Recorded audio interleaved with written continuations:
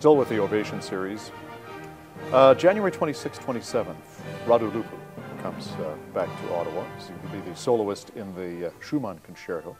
And I'm going to get to that in just a minute. But opening the concert is a piece by the Polish-Canadian composer Peter Paul Koprowski. Now, he's one of three Canadian composers who have just been given the NAC Award. That's right.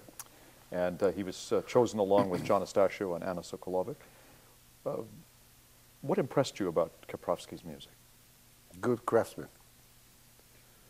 Uh, good musician. I like him very much, as a musician especially. And I like his music. It's, um, it's well done.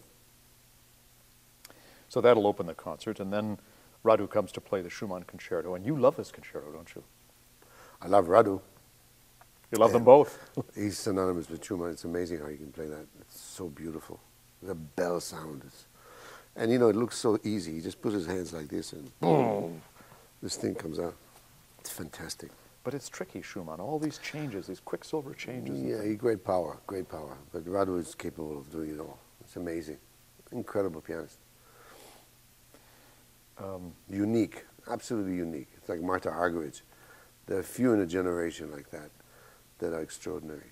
You know, when, when you talk about pianists, they all say, ah, Radu, or they say Martha, or they say Fima Bronfman. You know, there's a Rubinstein, there's a Horowitz.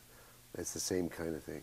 They, they create something that everybody has to follow. Uh, and that's amazing with that instrument.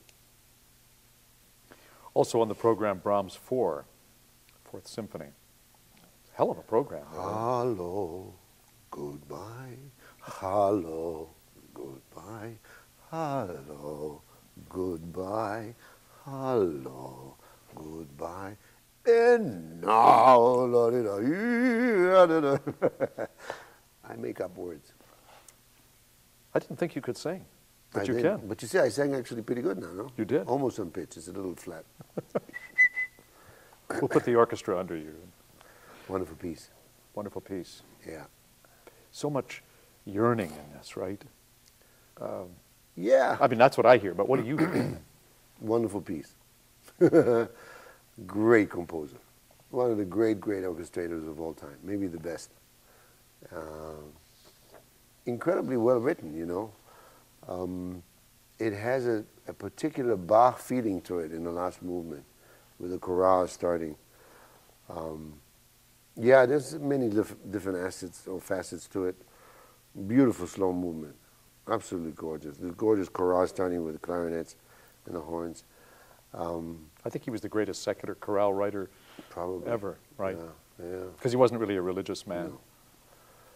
No. Um, yeah, it's just beautifully written for the orchestra. The orchestra plays it when it's comfortable. When we do what he really wants, it's very comfortable music to play. It's hard to do, but comfortable because sometimes we all want to play Brahms very loud. Somehow it's always related to very loud, but Brahms is not loud. It's just full because the orchestration is so close that it sounds loud. So we want to play even louder. Don't need to. What did you say? It's full? Full. The orchestra, yeah, the orchestra is very close. All right. the triads. Dense. So dense. So therefore, it sounds full. It's not one thing there and one thing there, and then something in the middle. It's really close triads, and uses the orchestra from way at the bottom to the top. Very good. I mean, really good.